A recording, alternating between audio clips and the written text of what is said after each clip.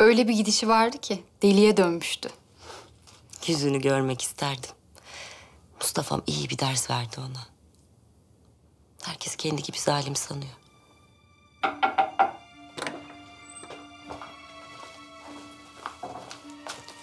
Sultanım, Ne var Fidan? haremde bir işler dönüyor sultanım. Sümbül Ağa Nigar Kalfa'yı götürüyordu az evvel. Dediğine göre validemiz ceza vermiş.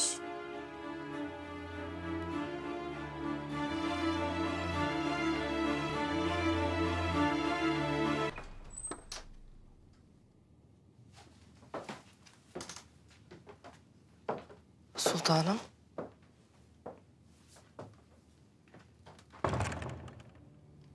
Haznedar Kalf.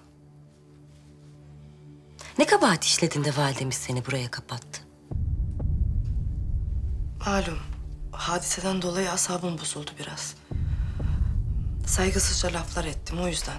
Ne hadisesi, ne diyorsun sen? Daye Hatun. Beykoz'daki evine giderken yolunu kesmişler. Neyi varsa çalmışlar. Öldüreceklermiş neredeyse. Dün gece bana sandı. Hay Allah. Kim yapar ki böyle bir fenalığı? Henüz bir malumatımız yok sultanım. Lakin Daye Hatun'un oradan geçeceğini bilen biri olsa gerek. Bana ne bakıyorsun? Benimle ne alakası var? Gülşah. Sultanım, iftira atıyor. Belli ki saraya dönmesi için oyun ediyorlar.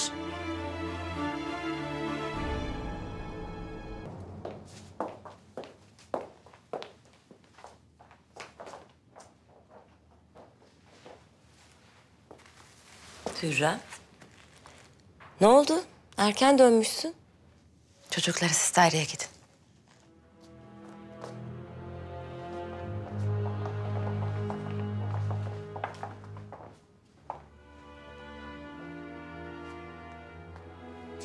Şimdi kim yönetiyor seni Mahidevran? Mustafa mı? O mu kurtaracak seni? Valide Sultan'ın İbrahim'in yapamadığını ondan mı bekliyorsun? Korkunun necele faydası yok Hürrem. Bugün değilse yarın hak yerini bulacak. Yıllardır azap içindesin. Bir türlü yüzün gülmedi. Sual etsem senin yüzünden diyeceksin. Fakat gerçek bu değil Mahidevran. Seni bu hale getiren ben değilim. Ne varmış benim halimde? Görmüyorsun değil mi? Etrafında olup biten hakkında zerre kadar fikrin yok. Hürrem, yalnız kalıyorsun Mahidevran. Sevdiğin seni seven, kim varsa hepsini bir bir kaybediyorsun. Malum, en son validemizle Hatice Sultan'ı kaybettin. Bir gün gelecek, senin yanında hiç kimse kalmayacak. Ne İbrahim ne Mustafa. O gün geldiğinde ben olur muyum bilmiyorum fakat emin ol evlatlarım olacak. Ve hiç şaşırma. Sana merhamet edip el üstünde tutacaklar. Zira ben onların kalbine nefret tohumları ekmiyorum.